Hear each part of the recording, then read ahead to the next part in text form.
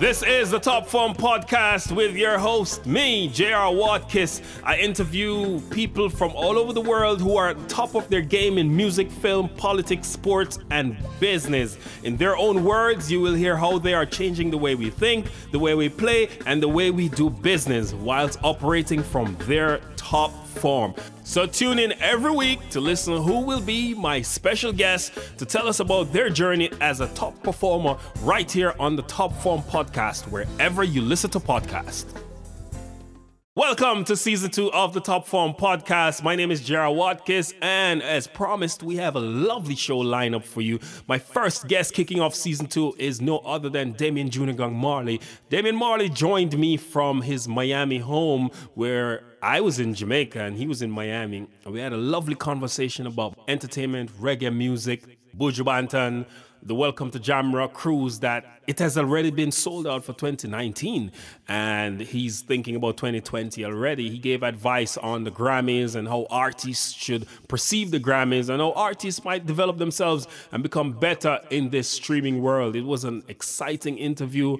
Um, I certainly enjoyed it and it was a pleasure having Damian Junior Gong Marley as a special guest on the Top Form podcast. So without much further ado, I'm going right into the interview with Damian Junior Gong Marley, the son, the youngest son of Bob Marley, the legend of reggae, right here on the Top Form podcast. Greetings, my brethren. How on? Yes, brother. You can hear me Yeah, good? man. Yeah, man. Yeah, man. It's a pleasure to hear your voice. Where's the man? Where's the man in the world right now? Miami at the moment. Miami, my place, my place. Big up. This is the Top Yeah. Form podcast, and we're streaming worldwide on Spotify, iTunes, all the top platforms in the world. We're streaming right now. So it's a pleasure to have you, Mr. Marley, Damian Junior Gong Marley, ladies and gentlemen. Nice. Thank you. Thank you for having me. Yeah, man. I want to start from the beginning because I have been wanting to interview you for a long time, and I know we don't have a lot of time, but I want to start with how you entered the music business and give the especially young people who are into reggae now and, and, and some may not even be into reggae, they're into dancehall and some other things. How Junior Gong came onto the scene. Well, um, of course, it goes without saying that my family, you know, has been in the music business even before I was born. You know what I mean? So I grew up around my brothers and sisters doing music, and of, of course my father and these things. Um, but really, for me, it, it kind of started as being a fan, especially of dancehall music. You know, 80s dancehall music is the first music that I started to buy for myself, and because of imitating people who I was a fan of was how I started to want to perform for myself. You know what I mean? This would be people like Tiger, Peter Metro, Ninja Man, Shabba Ranks, Super Cat, you know, that that kind of era of artists. Um, so you know, I used to, like I said, I used to listen to their music and wanted to be like them. And then, um, you know, we started a group with a friend, one of my childhood friends who I grew up with, who is the son of Cat Coore from Third World. His name is Shiah Coore, and we started a group together called the Shepherds. So we started doing shows in Kingston, with like Mother's Day events and you know, children birthday party and you know so forth, until until we ended up, you know, gaining enough momentum to to open up with Reggae Sunsplash when Sunsplash was still going on. We opened up, you know, Sunsplash. So that's really how my entrance into the music business is, you know, was. Yeah, you mentioned Reggae Sunsplash. There are talks about Sunsplash coming back and other reggae shows, and you have the Welcome to Jamrock cruise that is, is making big waves um, overseas and locally because the cruise that moved from Miami come to Jamaica. Um, what is your take on the live music culture for reggae music? And where do you see it going? And, and, and do you admire where it's coming from, where it is, and where it's going? And where what's your opinion on it? Well, um, hopefully we have. Hopefully there will be more events. You know, over the years, a lot of our annual events have gone away because of lack of sponsorship or for whatever reason. So hopefully we'll we'll have some more annual events because a great way to experience the music for me, like I say again, that was a big part of my inspiration of becoming an artist. You know what I mean? Was when I was a kid, I used to go to like a Sunsplash and watch these people perform. So and, and it's a great um, it's great for the island. It's great for the culture. It's great for our tourism, and it's great for help branding our culture of reggae music. And and you mentioned you mentioned something earlier when you said um artists and you said reggae artists or even dancehall artists. To me, it's all one in the same skill, you know. Because originally dancehall was a place, it was a venue, and whatever music was played in that venue is where you consider dancehall music. And of course, of course, the genre has evolved where you have, you know, original root sounding music compared to where you have now as modern dancehall, what you call dancehall. But it still all fall under the umbrella of reggae in terms of Jamaican culture, reggae music, you know what I mean? So you don't make a distinction between the two? I believe it's one family. Just just like hip hop, uh, fast hip hop, slow hip hop, etc. Yeah, it's still hip hop, you know what I mean? So you still have hip hop from the eighties, Slick Rick and, and those kind of artists. The way I have now, which is like trap, so, you know what I'm called trap, but it's still it's still all underneath hip hop genre of music, you know what I mean? Yeah, so that makes sense. That that makes a lot yeah. of sense because there was a there's a recent um, survey that I did because um, I do a, a, world music views chart that I curate the streaming numbers in the Caribbean, Dubai, US, UK, um, and Canada, and I found that persons are listening to, as you said, the, the, the modern version of reggae, which is dancehall. It's the speeded version of it, and not so much the roots. Um, that's in the Caribbean though. Worldwide, persons are listening to the roots more than the, the, the modern version, which is what we call dancehall. How do you suggest that the roots man get some of the market, um, especially the up and coming reggae artists, get some of the market that's available for reggae, both locally and internationally? Yeah, just keep putting out good music. Um, and of course, I think you have, you have to kind of have to mingle amongst the people. You know what I mean? Collaborate with people. Go to the venues. Go to the events that you know you're trying to reach. You know what I mean? so you know, go to the dance halls. Sometimes even when sometimes when I go when I'm in Jamaica and and I go out in the night time. A lot of the times I don't see a lot of the roots artists. I see, you know, the dancehall artists going out to the dance and to the events, but I don't see a lot of the roots artists out in in the streets. You know what I mean? So, you know, for, for be a part of the culture in all different ways will help. You know what I mean? But again, the most important thing is just putting out good music because still I do feel that we, even in the Caribbean, Caribbean right now, a lot of the young roots acts, their music is highly appreciated. You know what I mean? So I think there's still a, a resurgence of that energy right now. You you have been one of them who you put out albums. Um, you don't put out an album every year, but you are you're part you're definitely part of album culture. Do you think albums still have a place in reggae dancehall or it's a singles market? Uh albums still have a place. Albums still have a place. It's always nice to get a body of work and people still listen to albums and are still excited about albums. But I think nowadays realistically there's no rules or there's no right way to do it anymore or or one way to do it. Mm-hmm. As a matter of fact, nowadays it's, it's almost like in in these times it's almost like the more creative the approach is, the better. You know what I mean? So you're not binded by having to put out an album. You can put out an EP. I can just put out four songs. Because people still ex- can experience the songs as singles anyhow. You know what I mean? But um, but to put out but to put out a body of work is is it still means something. And of course, it, it's if you're promoting an album, you're driving traffic to more songs at once than if you're just promoting a single. You know what I mean? So it helps you in that way too. And and you you have been a serial collaborator. You, collaborate with some of the greatest in the world. Um, Jay Z, most notably, Bam, that took the entire world by storm, and you performed with Jay Z. What was that experience like? Recording with Jay Z, performing with Jay Z, and and what's the relationship like with you and Jigga Man? Yeah, it was a good experience, a cool experience. I'm a fan of his music. I've been a fan of his music for years. Um, met him and had conversations with him a couple times over the years before ever doing any music with him. You know what I mean? But of course, um, I was honored to to to I've been considered to be a part of his project. You know what I mean? Of course, like I said, like I said again, I'm a fan of his music, and Jay Z is definitely one of the legends of our time when it comes down to modern music. Um, you know, so it was, a, it was a great experience. And and Bam, um, what did that do for your career? Um, I noticed that you're one of the top streaming artists, definitely in Jamaica. You're among what we call the 100 million club. You're up there with you, Sean Paul, um, Shaggy, Stephen Marley, Tarrus Riley. You're up there in the 100 million club streaming catalog. Um, what did BAM specifically do for your career? How did it impact you?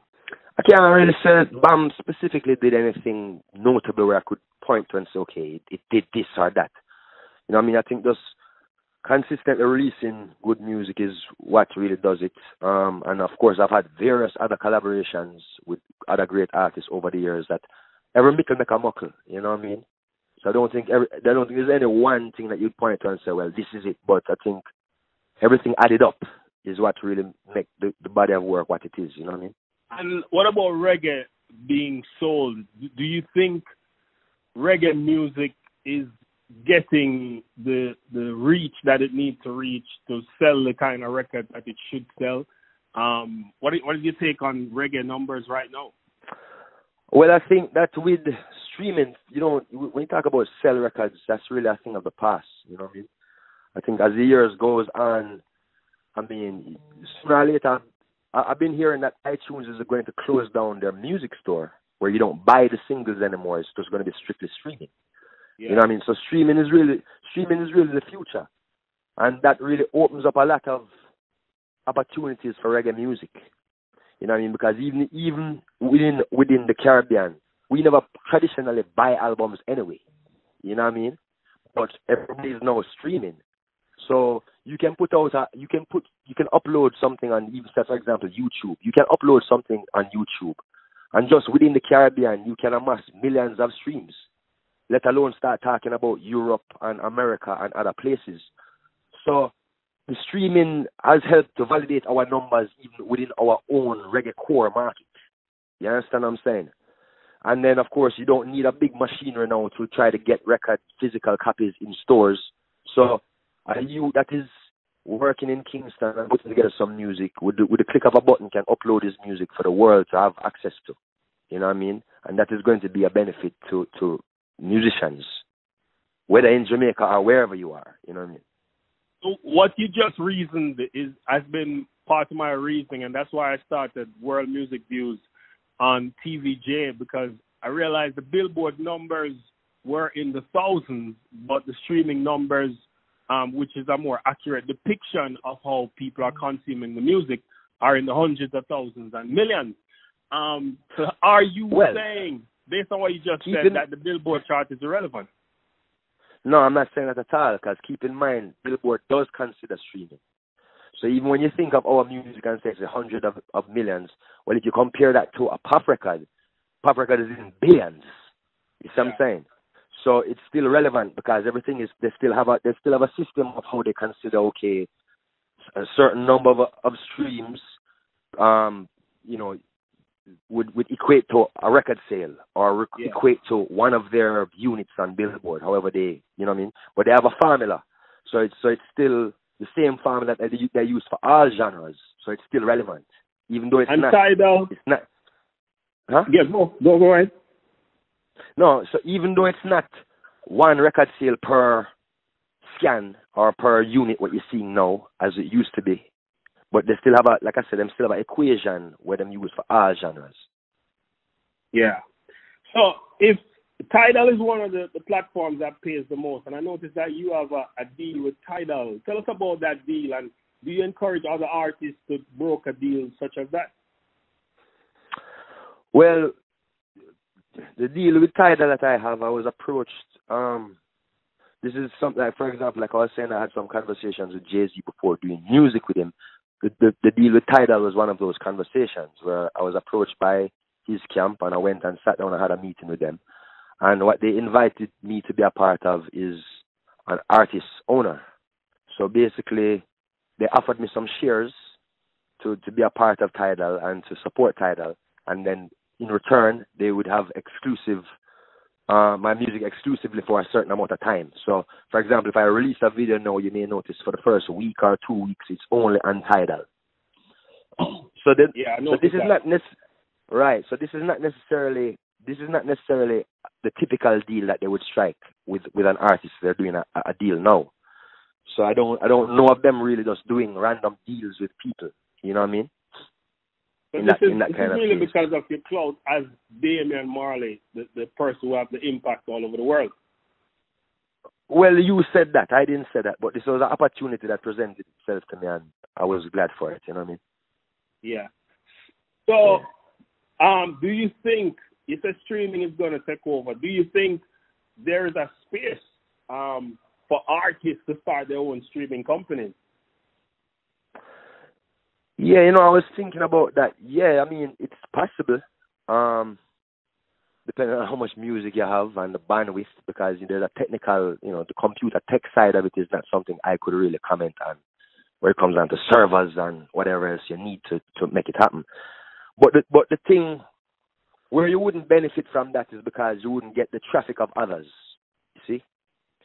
So w- when you have when you have millions of people accessing Tidal or, or iTunes or Spotify or wherever it be, you you will only have your die-hard fans checking out your streaming website, as opposed to being able to, for example, then okay, if if someone is a fan of mine, perhaps by looking to check out my music, they may stumble across my nephew's song, and then therefore my nephew get exposure from that also. You get what I say?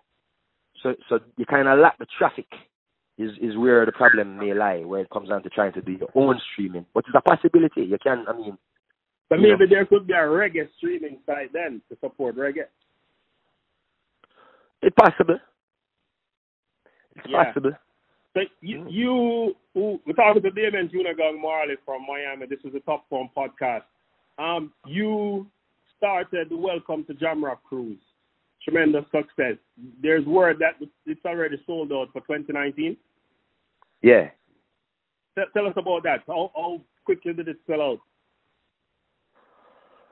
Uh, it's, well, we've had 2019 on sale from in probably, you know, probably mid 2018.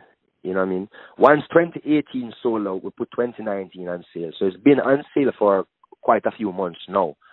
But um, about a week or two after we got off of this, off of 2018 ship, shortly after that 2019 sold out. So it feels good, man. I mean, you know, I mean, we still have about a year to go before the ship actually sails.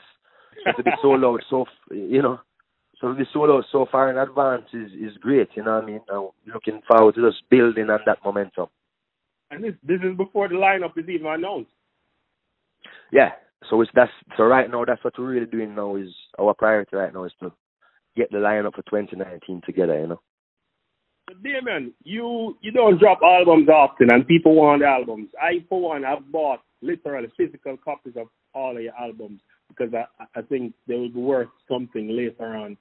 Um, but you don't drop albums often. Are we going to see Damian dropping albums more often?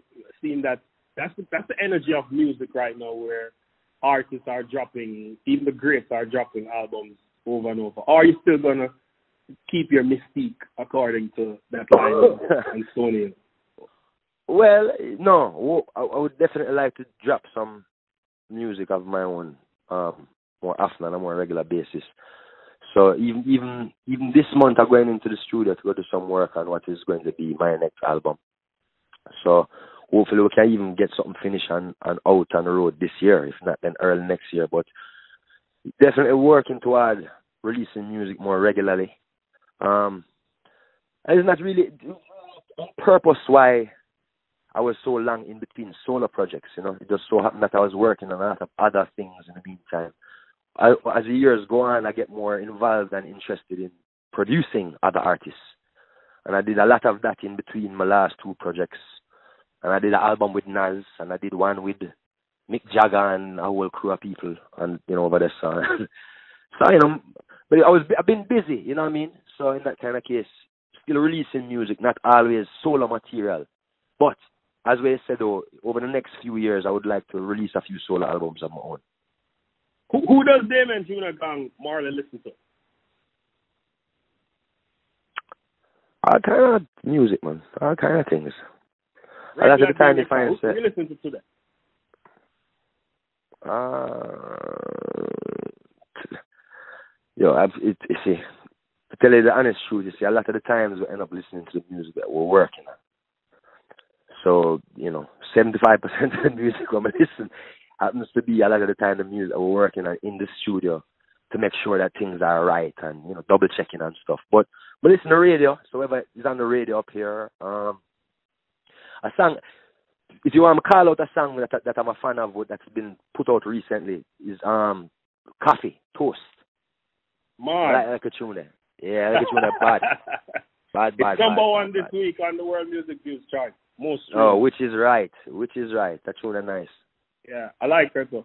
Um, you are one of the top, or if not the top act in reggae. Definitely the numbers speak for reggae music in particular.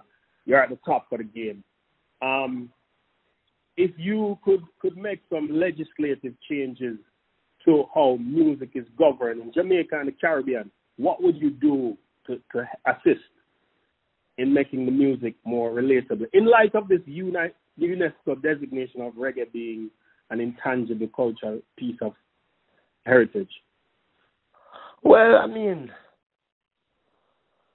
um, legislative. I don't know if I would use that word, but I mean, for me, for example, then I definitely think the the noise abatement act, that whole situation going on in Jamaica is something that definitely need proper attention. You know, I understand that you have to have respect residential zones. People have work in the morning, but Jamaican reggae music, the culture of it means so much to our brand as brand Jamaica that is important to keep and nurture that music and keep that music alive.